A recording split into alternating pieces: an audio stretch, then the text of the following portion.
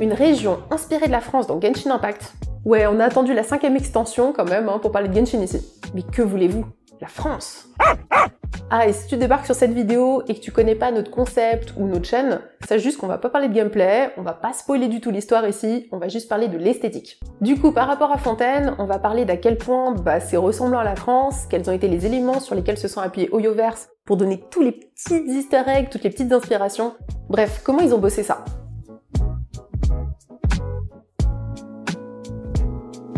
La première question que je me suis posée quand j'ai vu que Fontaine était inspiré de la France, c'est est-ce que on risque pas de tomber dans le gros cliché sa mère?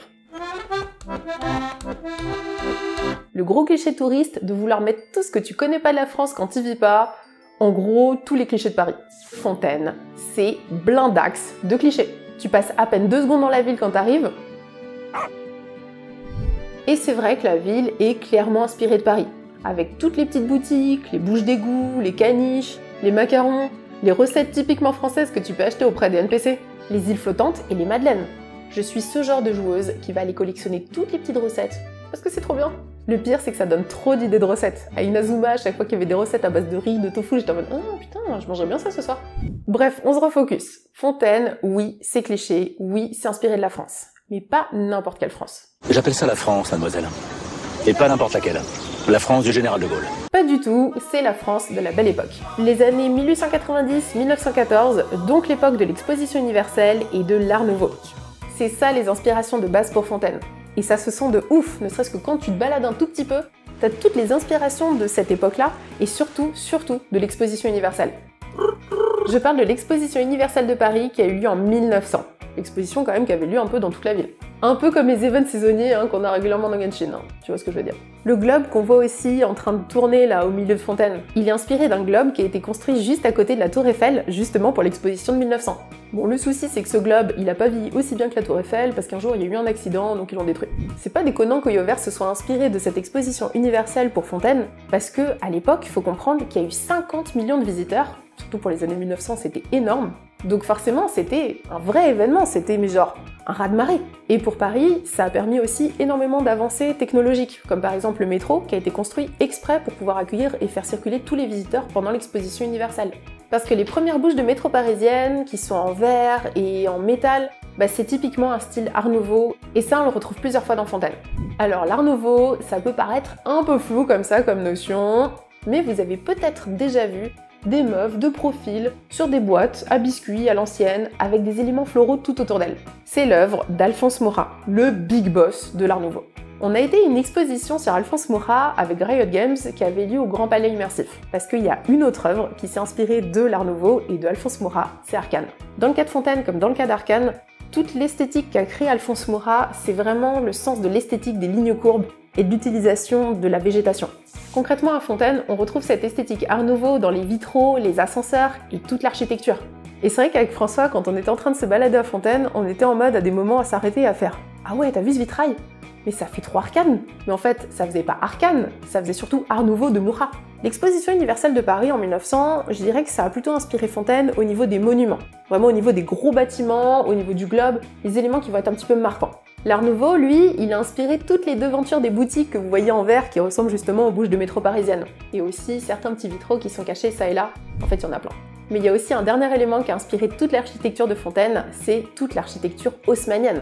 Ouais, c'est un peu une évidence à dire, mais les bâtiments de Fontaine, bah, ils ressemblent aux bâtiments parisiens. Que ce soit les toits avec les mansardes, ou alors ne serait-ce qu'à dans certains bâtiments de Fontaine, quand je me balade, j'avais l'impression de me balader dans les galeries Lafayette Haussmann, s'il te plaît. Donc, cliché, ouais, mais je dirais cliché bien fait. Et en fait, en vrai même, c'est pas parce que c'est cliché que quelque chose est mal fait, que c'est négatif. De toute façon, je suis une vendue, Oyoverse a acheté mon âme avec tous les vœux et avec Diluc et son skin de l'année dernière. Et en plus, sa voix de Giorno là, son seiyuu. Mettez le jeu en japonais si vous ne l'avez pas fait. C'est vital. Vous allez avoir l'impression d'être dans un manga, je vous promets. On se reconcentre sur Fontaine. Il n'y a pas que la belle époque qui est représentée dans Fontaine et qui a inspiré les devs ils ont avoué s'être inspirés des peintures du XVIIIe siècle pour toute la végétation de Fontaine, pour donner une végétation beaucoup, beaucoup plus colorée et beaucoup plus riche, fournie que celle qu'il y avait à Mondstadt. Que ce soit dans la ville ou quand vous allez vous balader et randonner là dans les Alpes, parce que clairement on inspiré des Alpes, là, les pics comme ça. En plus, le 18e siècle, au niveau des peintures, c'est le moment où on commence à représenter la nature un peu de manière sauvage. Ouais, les gars ils se lâchaient, c'est le moment où ils commençaient à plus montrer la nature toute domestiquée, ils étaient en mode Ouah, la belle fleur là, dans son cadre naturel. Et en même temps, ce qui est génial, c'est qu'on voit aussi à Fontaine tous les jardins à la française, le cliché versaillais. En plus, ces jardins du château de Versailles, ils ont aussi inspiré Fontaine pour tout le réseau de fontaines qui date de l'époque de Louis XIV et qui existe encore aujourd'hui et qui fonctionne encore aujourd'hui. Et je trouve que c'est assez énorme parce qu'il y a une sorte d'harmonie quand même à Fontaine qui fonctionne hyper bien, avec tout ce mix d'inspiration que je vous ai quand même mentionné avant, qui est quand même vachement riche, hein, et avec ça, une grosse grosse vibe époque industrielle, avec tous les mechas, et tout ce côté un petit peu genre, on a envie de donner une technologie, mais technologie du 18e, pas une technologie de maintenant. Oui, la révolution industrielle, elle a eu lieu en France au 19e siècle. Mais au 18e, les horlogers, ils étaient oméga skillés. Et Oyovers a vraiment voulu s'inspirer des horlogers français parce qu'à l'époque, ils voulaient vraiment créer des automates. Et on voit ça évidemment avec tous les mechas qui se baladent au KLM ou que tu peux tabasser.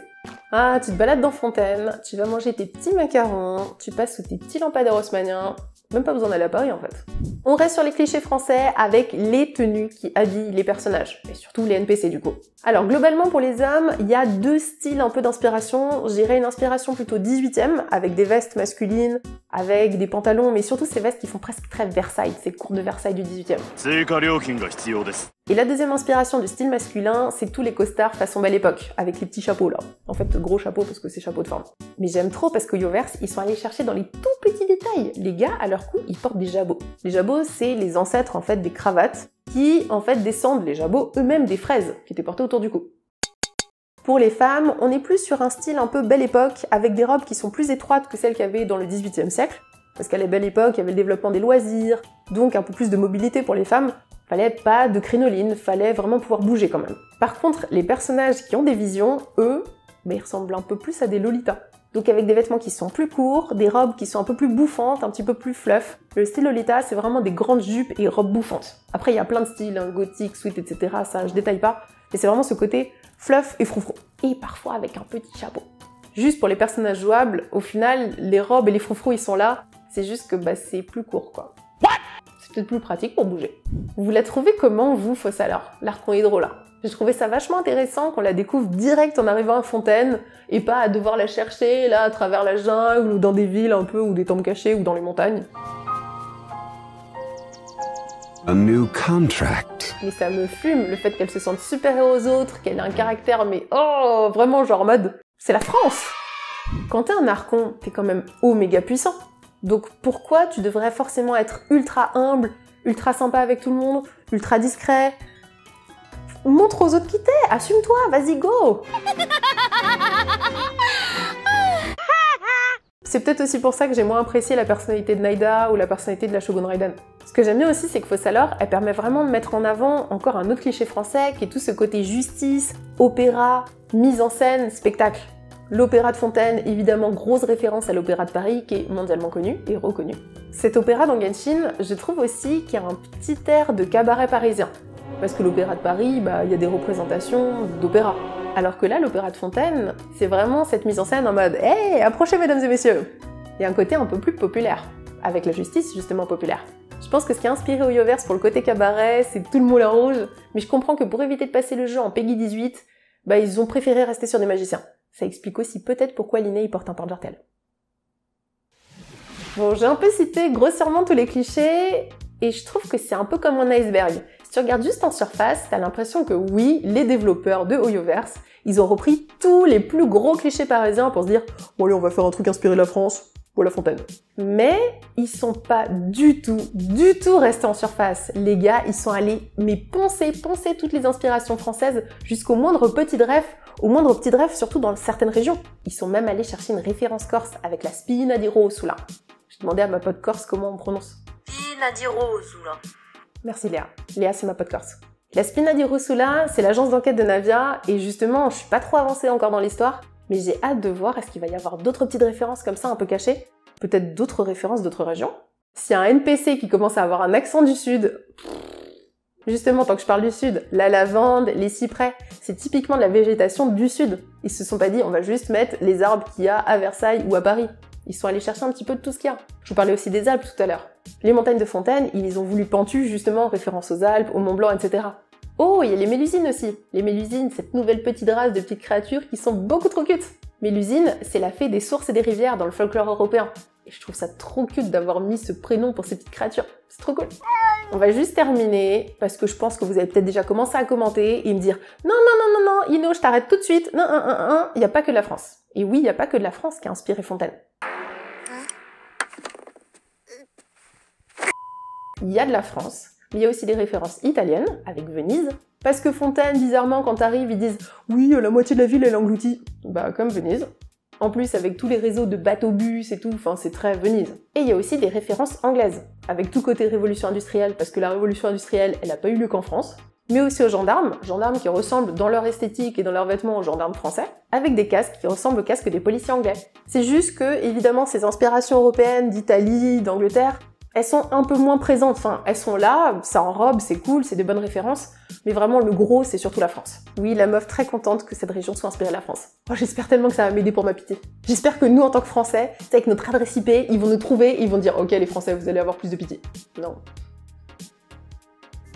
Bon, en résumé, oui, c'est oméga cliché Fontaine. C'est très cliché et ça, en même temps, c'est ça qui est cool. Mais il y a surtout un truc qui, moi, me choque un peu, c'est que quand tu te balades dans Fontaine, t'as comme une sorte de redondance, une sorte d'histoire qui se répète, mais genre constamment. T'arrives à Fontaine, dans une nouvelle région, et t'arrives, et tu dois gérer tous les problèmes. Alors oui, c'est le procédé scénaristique de Genshin, évidemment que t'as des problèmes à régler, sinon bah il y aurait pas d'histoire, il y aurait pas d'enjeu. Mais perso, ça me fait beaucoup penser à One Piece, quand Luffy il arrive sur chacune des îles qu'il découvre, et à chaque fois il vient, il fait le ménage, hop, c'est le héros, clac clac, il te fait ça en deux deux, il reprend son bateau, il part. J'espère que mon équipage est en pleine forme Et souvent, les personnages qu'il rencontre avant qu'ils deviennent ses potes, bah, c'est un peu des caricatures. Et je retrouve ça aussi dans Genshin, et je retrouve ça aussi à Fontaine. T'as vraiment ce côté en mode hein, on est méfiant, on n'est pas content, et après ah t'inquiète pas, je viens dans ta team, en plus t'as vu j'ai une vision. On te voit Tartaglia, on te voit, on voit ta bannière. La bannière Tartaglia Zongli. S'il vous plaît.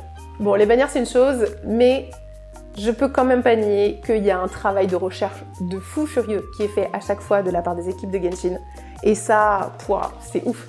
Et je me dis là, il y a d'autres régions qui arrivent encore, mais ça va être ouf. Et encore, j'ai même pas découvert tout Fontaine. Bien sûr que le concept, il est addictif, avec tous les vœux, blablabla. Mais surtout, si la communauté elle est encore là, si on continue de faire l'histoire et de continuer d'accrocher à tout ça, c'est pas que pour faire des vœux, hein. c'est parce qu'il y a toute une esthétique, il y a un travail derrière, et que bah, tu le ressens. Tu le ressens quand tu le vois, quand tu joues. J'en profite pour dire à quel point je suis méga fan de chacune des musiques, de chacun des thèmes. Depuis Mondstadt, ensuite avec Liu, je crois qu'on dit Liu, ensuite avec Inazuma, ensuite avec Sumeru. Toutes les fois où on voit les orchestres symphoniques interpréter tous les thèmes, mais c'est du génie. Les, les compositeurs, ils sont ouf. Le compositeur, il est ouf. Il y a juste un truc qu'on n'a pas mentionné dans cette vidéo. C'est le manque de diversité ethnique. Et je pense que même ça mériterait qu'on en fasse une vidéo qui soit totalement dédiée, en mode, si vous voyez ce que je veux dire, le problème des personnages dans Genshin Impact. Bon, d'ici qu'on parle de ça, à la prochaine et continuez bien de farmer, récupérez bien tous vos hydroculus et à très vite.